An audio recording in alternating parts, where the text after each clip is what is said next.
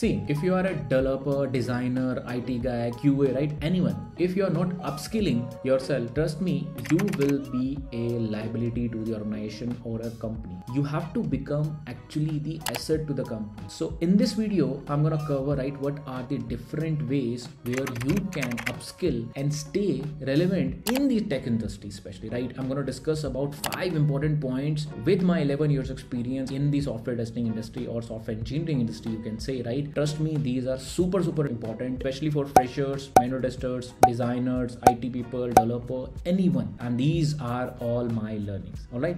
So let's get started. The first one, guys, focus on the soft skills. Guys, this is a super, super important. See, whenever we discuss about soft skills, no, we have something like, okay, we have to improve communication. No, you have to improve your communication, writing, your leadership skills, your problem solving, your time management, your adaptability all of them are are actually the part of your soft skills so you know when i have started right uh, so after two three years of experience as a software tester right i immediately basically given a uh, position of QA lead, where I was not able to properly lead a team. I was not able to motivate them. I was shy. If I discuss with this person, right, what will happen? He will listen to me or not, right? These things. See, leadership, communication, all of them are skills which can be learned. Whenever you are thinking about as a leadership skills, right, you have to motivate the team. You have to inspire them. You have to basically guide them. Okay, this is what we want, and this is what we are going to deliver in the point. All of them are part of the soft skills. So make sure you are paying attention to your soft skills including communication writing email writing is super important problem solving you have to be problem solving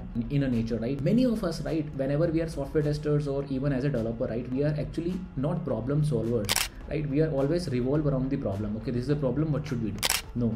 You have to think like a problem solving where this is a problem that we have. Recognize that. And start solving that problem. This is important step number two which is learning formula. Guys you have to learn new skills and everything right? Uh, these are the super super important if you want to upskill and you want to stay relevant in especially in the IT industry right? So what what do you mean by this Pramod? See you have to prepare your mind you have to prepare your motivation and you have to go with the roadmaps this is like a simple thing which is mmr prepare your mind basically ask why you want to learn motivation which basically what you want to learn and what is the achievement that you will get right? And the roadmap which exactly is your how right? Consider this example. For example suppose i'm a software tester i want to learn about the playwright right? So my mind is basically why i want to learn this. And motivation is what i want to achieve by using this. The third thing is basically how how is the last part? First two things are why you want to learn it and what exactly you will achieve. This is actually a learning formula. It's a concept old concepts okay? Third important skill is the salary negotiation. Guys many of us don't learn this concept and you are losing lot of lot of things on the table. First of all you have to research in the market what is the average salary that you are getting and ask more. Always ask more. This is one of the things that i have done. For example if market average is 5 lpa inr ask 6 ask 7 this is what you need to do. Work on your salary negotiation skills. I will create a more in-depth video on this. Let me know in the comment if you need a in-depth video on the salary negotiation part. Just type salary in the comment. I will know that okay you need proper video video on this but salary negotiation skills are basically divided into the four part which is researching into the market preparing your case be confident ask more and the follow up and stay professional on this case right? Don't be like vegetable sellers or somewhere. Sometimes what happens is your HR is saying okay we'll give you 6.5 you said no just increase to 6.75 no doesn't make sense right? 50 25000 INR doesn't make sense to you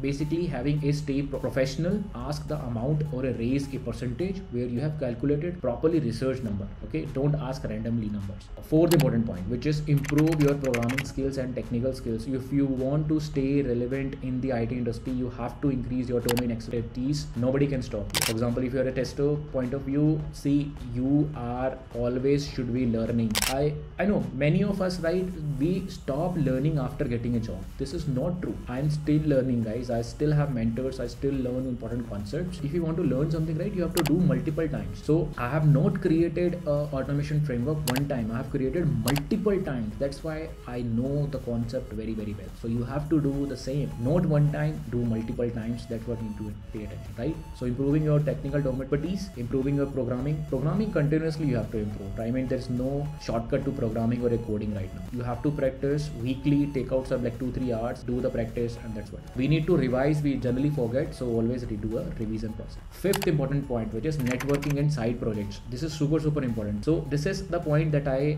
am basically emphasis right now in 2023 also. If you want to keep upskilling and if you want to basically have a stay relevant in the it industry right which is you have to network with the similar mindset. You have to talk to the other people other qa leads other qa managers other senior qa people or even if you're a developer you have to talk to them. You can talk to them over linkedin or over anywhere right? It can be a youtube comments where you can basically talk, discuss with them right? Have a networking networking only will improve yourself. That's the point and the side projects. You have to do side projects guys so whenever you do side projects you will learn new concepts and those will be basically added automatically to your skills. I have done it multiple times. I used to do saturday sunday right? Saturday sunday is fixed for me create some side project right? So right now if you see i'm just exploring some real-time dashboards on selenium right?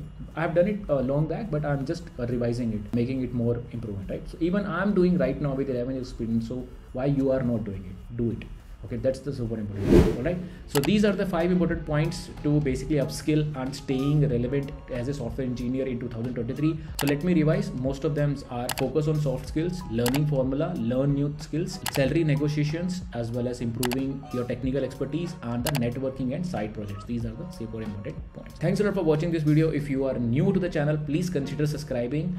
And if you are old one thanks a lot for joining in. I'll see you in the next video. Bye bye Música